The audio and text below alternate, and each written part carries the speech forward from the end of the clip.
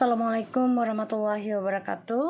Hai guys, kembali lagi di channel aku Laki Tarot MS Sekarang aku akan bacakan tentang Bahagiakah dia dengannya saat ini. Kalian dealkan dengan orang yang kalian pikirkan. Ingat jangan percaya tarot 100% Tetap mintanya kepada Allah Ini hanya sebagai payung sebelum hujan. Oke, okay. ini energinya mereka Oke. Kita baca doa ya. Bismillahirrahmanirrahim.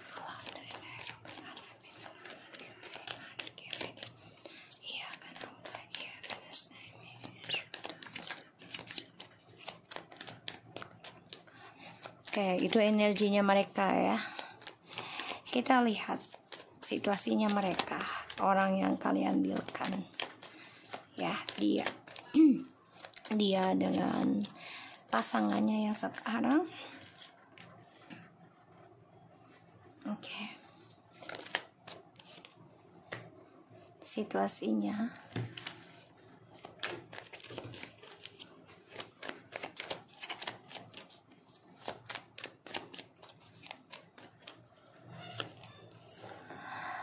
Oke okay guys, gini guys, kalau aku lihat mereka sedang uh, berusaha menstabilkan hubungan ini ya. Tapi di antara mereka ini ada yang mau kembali ke orang lama. Ya. The Death, Four of Wands, Six of Wands, and the Knight of Pentacles. The bottom of the deck ada The Magician, the Chariots, and the Page of Cups, and the Four of Pentacles okay, hubungan mereka ini masih banyak drama bahkan tidak nyaman sih karena energinya mereka ini hampa ya. Banyak sekali perubahan dalam hubungan mereka setelah kamu memilih untuk ending dengan dia. Masih terperangkap dalam drama ini membuat dia tidak bisa lari lagi dengan kenyataan yaitu dihantui kehancuran tentang kebebasan dan juga kesuksesan dengan orang ketiga karmik yang selama ini dia tutupi yang selama ini dia rahasiakan sekarang dia dihantui kehancuran. Mereka juga ya bukan dia saja. Mereka dihantui kehancuran satu sama lain ya karena dari drama ini sehingga mereka bermimpi buruk tentang kehancuran tentang uh, apa namanya karma gitu ya. Dan juga kebangkrutan dari karir mereka yang mana mereka tidak bisa menolak lagi atau ngeblok lagi tentang drama ini akan terus terjadi dalam kehidupannya mereka. Dan aku lihat mereka belum bisa melepaskan ya tentang trust issue di masa lalunya dia dengan kamu masih banyak sekali permainan yang mereka lakukan ada four of pentacles and the just the magician and the chariot and the page of cups. So banyak sekali permainan. Di antara mereka ini akan sama-sama kembali pada mantannya masing-masing.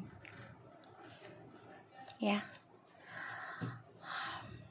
Aku lihat banyak sekali kehampaan banyak sekali uh, perubahan banyak sekali uh, mungkin sebagian sudah ada yang ending ya jadi situasinya mereka saat ini ya coba untuk membahagiakan diri ya. Walaupun bersama tapi penuh dengan egois, sama-sama ingin sukseskan karir ataupun kestabilan hidup mereka. Jadi tidak ada cinta. Ya. Dia ingin kembali sama kamu nih, ya. Jadinya mantannya si orang yang dia jalani juga ingin kembali sama dia gitu ya dan situasinya mereka ini coba untuk sama-sama memperbaiki tentang kesuksesan mereka masing-masing. Tapi perasaannya sudah hampa. Ya sudah hampa. Yang mana mereka masih mengingat tentang memori di masa lalu ya tentang kesuksesannya mereka masing-masing. Dan sekarang mereka depresi stres ya tentang kemenangan mereka. Bahkan juga mereka dihantui ketakutan dari masalah keuangan. Walaupun mereka bersama tapi energinya hampa ya dan lambat laun ya mereka nggak bahagia sih sebenarnya. Coba untuk berbagi satu sama lain ya aku lihat.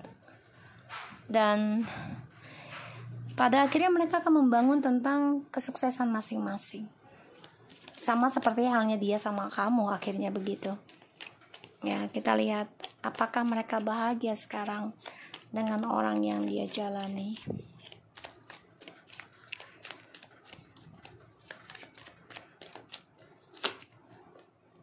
The fool.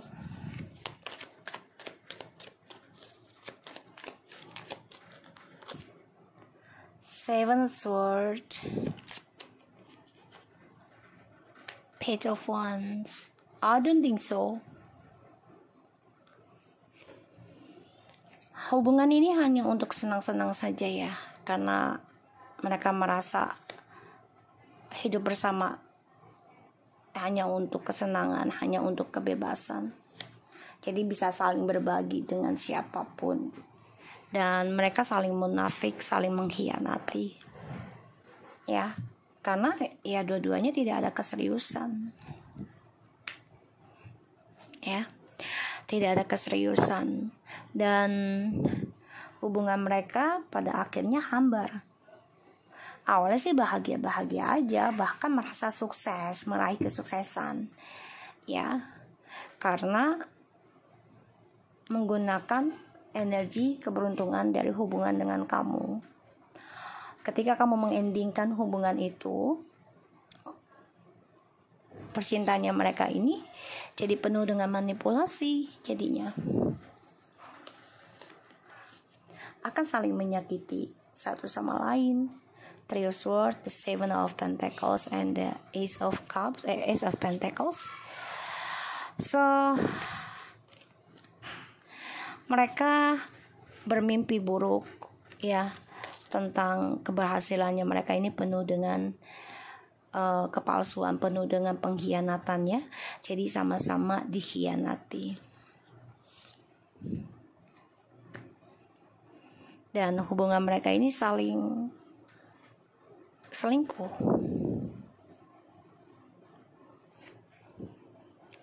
Sama-sama ingin kembali kepada pasangannya masing-masing.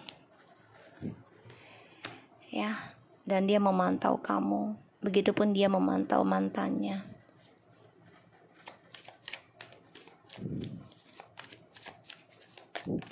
Ya, tuh ya. Ten of Pentacles, the King of Swords, Three of Wands. Ya, mereka kan sama-sama balik kepada pasangan lama ya. Terutama yang long distance sama-sama memantau, sama-sama memikirkan. Karena hubungan mereka ini hanya permainan saja untuk kestabilan hidup mereka. Ya, selalu mempunyai dua pasangan, dua pilihan, satu sama lain, mereka masing-masing.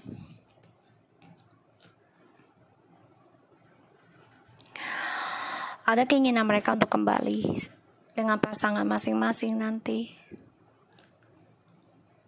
karena hubungan mereka sudah ending ataupun hampa ya walaupun bersama tapi sudah hampa kita lihat kenapa ada the dead oke okay.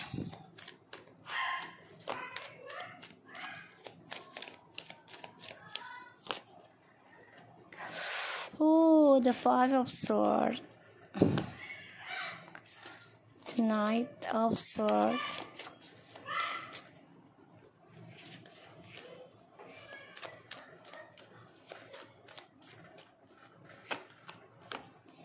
Eight of sword eight of pentacles. Sorry guys. Kenapa ending ataupun hampa ya? Walaupun mereka bersama. Karena the five of swords, the knight of swords, and the eight of pentacles. Merasa sia-sia hubungan mereka dibangun ya diukir. Karena dua-duanya ego. Saling tidak mau mengalah dan saling berargumentasi merasa sama-sama saling benar. Makanya hampa. Dan di sini aku lihat mereka walaupun bersama tapi tetap ada perselingkuhan. Ya karena untuk kestabilan mereka dan walaupun mereka menikah tapi dua-duanya bebas. Karena ya diawali dari perselingkuhan dan aku lihat di sini memang kesuksesannya mereka raih diawali dengan seksual. Semuanya ya topeng semua tidak ada kejujuran tidak ada ketulusan ya.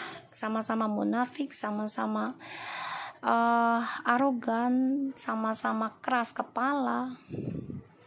Pada akhirnya hubungan mereka ini ya lambat laun membawa trauma membawa karma buruk ya dan ini membuat mereka stres tentang perjalanan jurninya mereka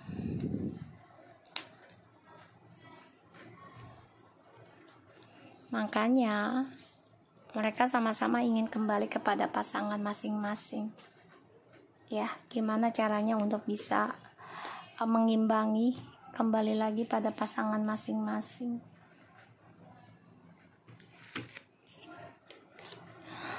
Mereka saling memantau ya, dia dan pasangannya yang sekarang penuh dengan kemunafikan dan apa pun yang mereka kerjakan ini membuat mereka tidak bahagia sebenarnya.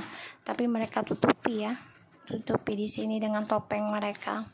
Karena mereka tidak mau terlihat kalah apalagi dengan diri kamu yang sudah banyak berbeda ya pandangannya di sini. Bahagiakah dia dengannya tuh ya envy kecemburuan kegelapan dan ketidakbahagiaan di antara mereka. Dan ini juga bisa dengan energi negatif ya. Kalau dilihat dari gambarnya pun ini terlihat seperti orang penyihir. Jadi toxic sih kalau lihat hubungannya memang membawa energi negatif sehingga apa pun yang mereka raih tidak akan mendapatkan kebahagiaan angel of balance, self honoring in your challenge choice. So dia cemburu tentang uh, keseimbangan dalam sebuah kebahagiaan, terutama tentang keuangan ya di sini. Jadi gini, mereka saling cemburu dengan penghasilan masing-masing pada akhirnya karena merasa mereka mempunyai suatu kedudukan masing-masing. Jadi tidak mau ada yang mengalah. Ketika mereka berbuat salah, salah satunya ya pasti ada suatu uh, ungkitan kayak gini loh.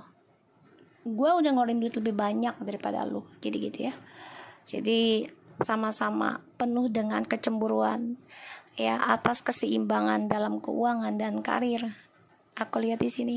Makanya apa pun yang mereka kerjakan itu akan sia-sia dan ujungnya hubungan ini akan menjadi hampa. Dan mereka mencari terus tentang hubungannya di sini. Pada akhirnya nantinya prosesnya ya the three chakra emotional of desire karena hubungan mereka ini diawali tentang seksual. Dan mereka selalu menekankan tentang kecemburuan mereka. Jadi kalau mereka cemburu sesuatu kayak dia cemburu dengan kamu ya. Dia mencari orang lain yang lebih lemah dari kamu agar dia bisa menguasai. Karena dia orang suka mengontrol ya tentang sesuatu finansial. Dan ini adalah masalah keuangan. Aku bilang juga apa ya? Tadi keuangan. So dia cemburu. Ya satu sama lainnya cemburu. Karena keuangannya mereka ini bermasalah ya.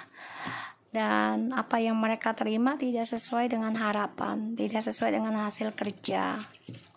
Makanya banyak sekali kecemburuan banyak sekali uh, argumentasi sehingga hubungan mereka menjadi hambar ataupun hampa first chakra stability Di sini mereka menjadi emosional karena sama-sama merasa mengimbangi tentang keuangan ataupun kestabilan hidup mereka. Dan yang aku lihat rest and rejuvenations and the journey. Kayaknya mereka akan break up ya karena juga ada the death ya. Jadi bisa saja dunianya mereka adalah perpisahan karena adanya suatu perbedaan dan jembatan di antara mereka untuk meraih kebahagiaan ke depannya. Makanya di sini hubungan mereka ini ingin kembali kepada pasangannya masing-masing nanti. Ya dan mereka ber, bermasalah tentang keuangan ya di sini saling cemburu tentang keuangan dan saling memantau seperti kayak mengontrol uang itu digunakan untuk apa jadi ya detail banget lah gitu ya So guys, aku harap ini bisa resonate buat kita semua. Jangan lupa bantu subscribe, like, comment, and share channel aku. Lucky Entertainment and take care of you guys.